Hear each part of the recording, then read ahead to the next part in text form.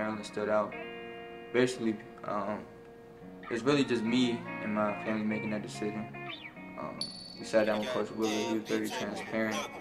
Um, you know, he has a history for letting his, you know, his guards, you know, rock out a little bit.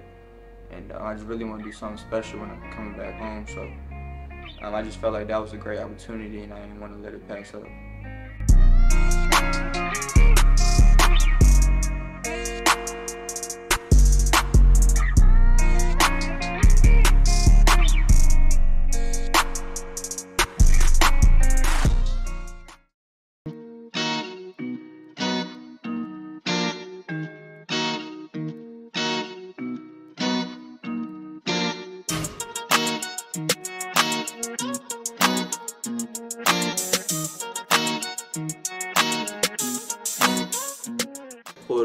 We got there in the evening.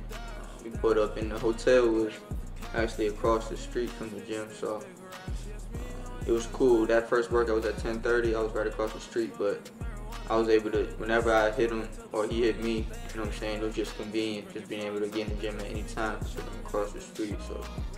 Um, that was definitely that was definitely convenient. I had knew about Seabreak um, way before we started training because you know he's training all the top guys in the league and stuff like that. But um, he really had knew my uncle. They was boys. He was really rocking with his music.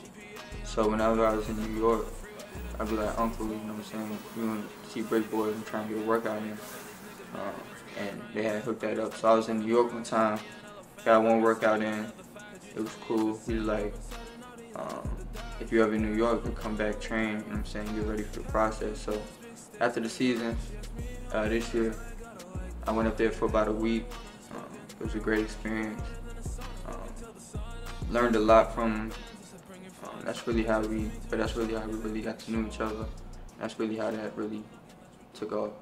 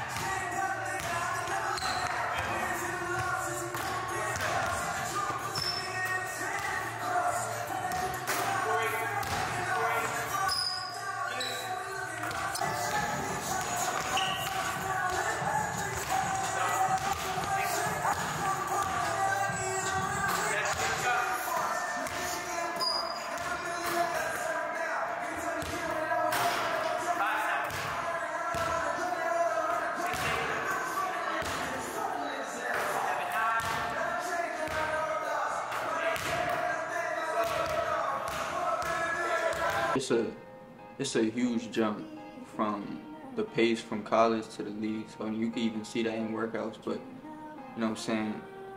Ricky's like a robot. He's like a like a book. So like he already has his stuff ready. He's ready to jump to the next drill before you even finish the other drill. So he would tell me I gotta do boom, boom, boom, boom. I gotta be here, be here, be here. And while I'm doing it, I gotta memorize it. But being able to keep that same pace is what is difficult. So just being able to get used to that, that was definitely an adjustment. Um, and he would know like my percentages. He would know what I shot from three point, um, free throws, all of that. My assist off ball screens. I'm better shoot going left and right. You know what I'm saying? But so he knew we had to work on then being able to memorize it, memorize what I got to do in the workout, and then being able to still make shots while thinking, while being tired, while keeping that pace. It's crazy. So talking to, you know I'm saying, the younger generation and kids trying to, you know, make it to that level. Just being able to keep that in the back of your mind that you gotta be able to do multiple things at once and at the pace is is is way it's way faster. So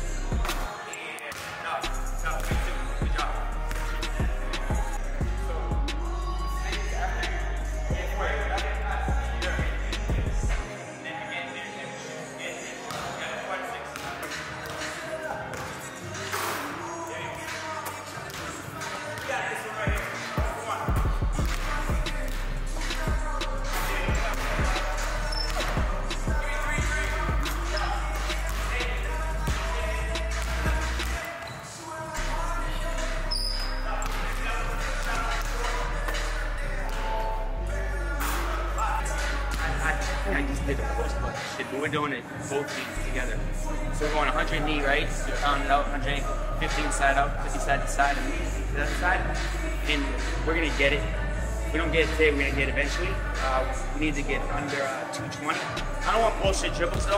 Like I, like I don't want the knee to be like, I really, really, side up, side to side, and we're gonna go try and make it.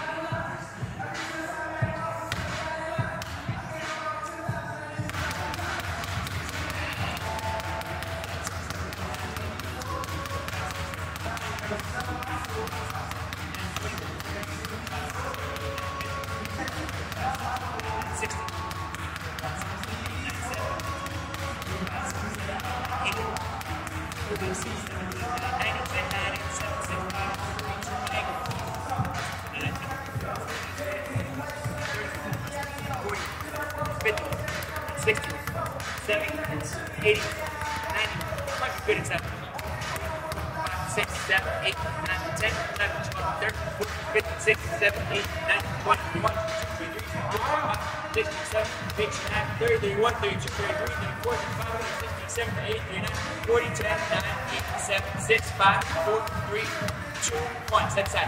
One, two, three, four, five, six, seven, eight, nine, ten. One, two, three, four, five, six, seven, eight, nine, twenty. Two, three, four, five, six, seven, eight, nine, thirty. One, two, three, four, five, six, seven, eight, nine,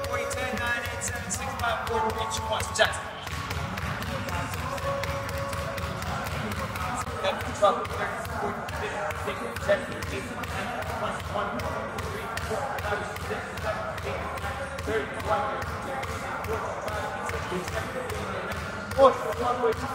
one.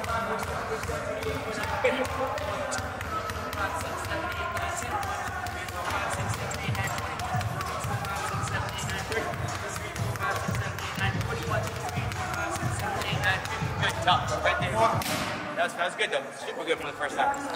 Over time. Yeah. That's tough for that first.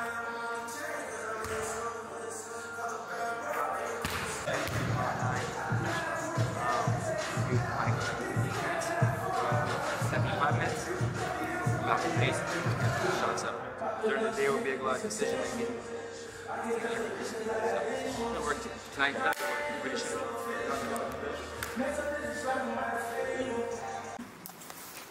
How'd feel winded? I can't believe you can bring your inhaler. Good. I mean, I'm gonna be tired, bro. Keep pushing through.